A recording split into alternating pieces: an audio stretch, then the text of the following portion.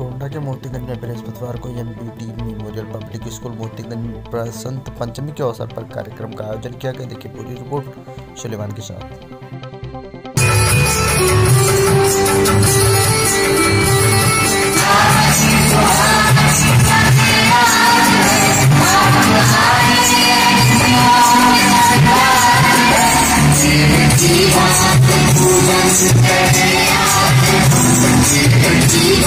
Thank you.